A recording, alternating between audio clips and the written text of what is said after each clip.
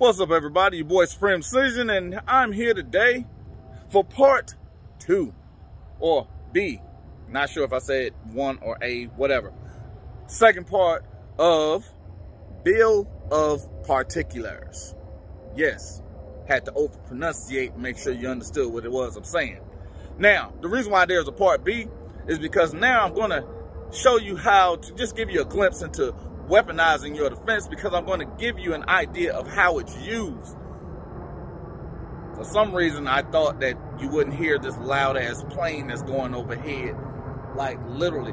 I'm, you know what? You know, I'm not even going to do that because it's literally like feet above my head. The bill of particulars itself is a defense attorney's tool for the most part because they're going to file it with the complaining party or they're going to file it with the prosecutor to get a clear understanding of the charges that are set against you and make sure there are no future charges that will be prosecuted upon you for that particular act. Now, just like I spoke of in civil actions, the bill of particulars can come from either party, as well as the setting will be done generally on a breach of contract or some other tort.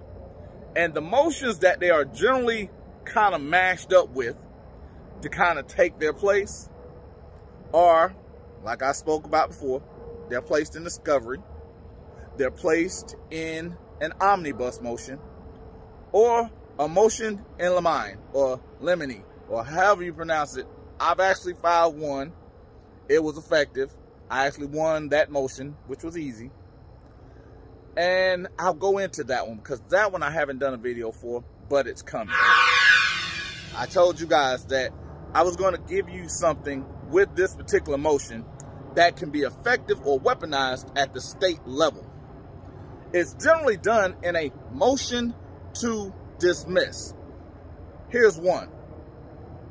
You're looking at states such as New York, Illinois, California, and sometimes Virginia. Now, Illinois, you guys getting ready to like me because I'm about to give you something that you probably didn't know. In Illinois, the bill of particulars is actually accompanying, accompanying, accompanying. It goes with the, because the dismissal itself is going to detail out one thing. In the Illinois Code of Civil Procedure, Section 2-615. And it's simple.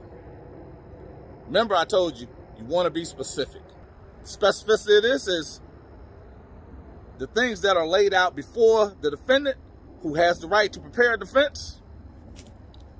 Simply state the pleadings are insufficient on its face to even bring forth charges or follow through on the allegations before the court.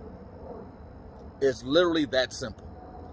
Most dismissals don't have a direct line of carriage with it, but this one does.